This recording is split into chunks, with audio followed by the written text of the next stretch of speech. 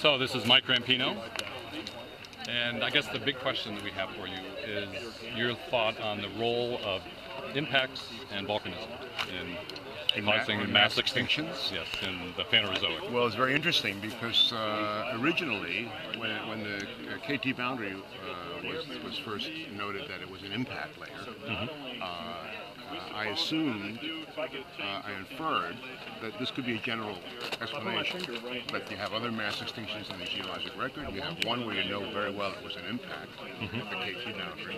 Therefore, let's look at the other boundaries to see if you can find the same kind of evidence that's found for impact at the KT boundary. And I did that, especially at the Permian Triassic boundary, the really big mass extinction, and I couldn't find any. No impact evidence. So yeah, after 30 years of uh, since the Alvarez hypothesis was first proposed, uh, the evidence of impact at other boundaries is still rather meager Okay. uh, and uncertain. And uh, the other thing uh, that we were thinking about was flood basalts. And we looked, this is back in 1988, we looked at the dates that we had at that time, the best dates for flood basalts, the best radiometric dates, and uh, compared that to the time of, uh, of extinctions. And there seemed to be a pretty good correlation. Uh, for example, the Deccan and the KT boundary, the Siberian traps and the Permian Triassic boundary, and then other other LIPs as well. And so then we began to think, well, maybe it's, it, there are two major causes of mass extinctions. One would be impact, KT would be a good example, and the other would be the, the largest volcanic events that you can get, uh, flood basalts, whether they're putting out CO2 and warming the climate, or aerosols, getting aerosols up into the upper atmosphere and cooling the climate. So that there's So it's sort of a double whammy uh, that you could have cooling, abrupt climate change that would produce changes enough to affect extinction. and then long-term climate change from the, from the CO2 that you're putting in the atmosphere. So it'll be a short-term effect and a long-term effect. Mike, how, how, how does the, uh, the first thought start? Uh, how do you link the theory with the data that you that you collect? How do you come up with uh, the theory Well, the two options?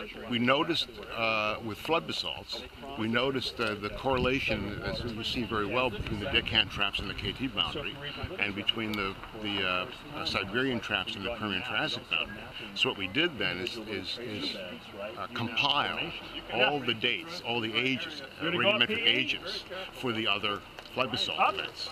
And we got the best. There were, there, at the time, there was quite a spread of ages. It wasn't clear whether these events were, were short, a million years, or whether they were spread out over, over many millions of years, because the potassium argon dates were very, very uh, uncertain.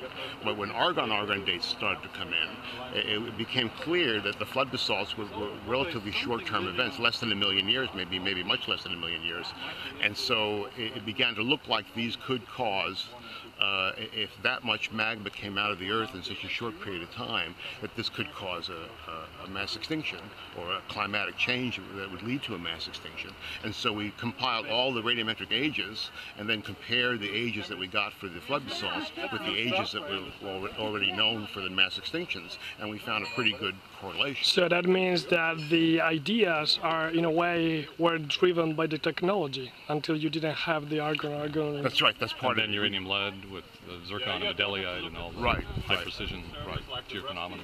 when, when that started to come online, we got much better resolution uh, for the ages of the, of the, of the, of the large igneous provinces. Yeah. So broadly speaking, because now we are in a decade, or the last two decades, we had a lot of improvements in technology. Mm-hmm. We are going to have maybe new ideas pretty soon, because of technology is driven. I think so. new Yeah, data. every every new technology uh, uh, drives new questions that can be begin to be answered by by the, the by the new technology, by the technical advances. Which is the newest technologies that, that you are working on nowadays?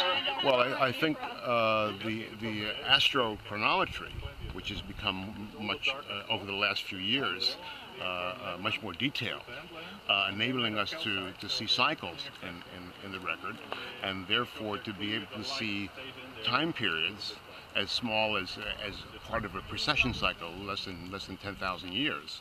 And so, looking at some of the mass extinctions and doing cyclostratigraphy across the mass extinction layer, we can get an idea of how long it took.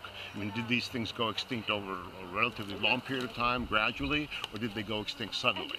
And so far, what I found is that the Permian-Triassic boundary, the big mass extinction, that most of the species we can see, especially the foraminifera, which, which are very abundant, uh, go extinct in, in a time period less than half a precession cycle, so less than 10,000 years. So it must be, if that's if that's right, it must be something catastrophic. Something happens to the environment catastrophically.